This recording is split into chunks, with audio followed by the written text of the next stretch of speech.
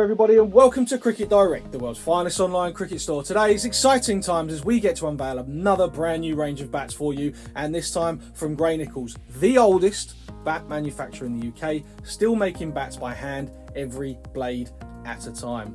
Now we have uh, a couple of new ranges here for you. You've got the Vapor and the Alpha. The Alpha coming in a light version for the young cricketers uh, and the ladies who need a full size bat with a little less weight in it. The light range is for you. Uh, the Classic range uh, has taken, uh, got a bit of an update in the graphics as you can see with the Ultimate and those with a keen eye will have seen the two new retro bats. Uh, and we've got two of Gray-Nicolls all-time greats in the Predator, the bat that Mark Ramprakash was using when he scored his 100th century in the first class game. And for those of you you who love the 2005 Ashes, Andrew Strauss's weapon of choice, scoring hundreds for fun in the original Powerbow. So, more videos coming on those soon.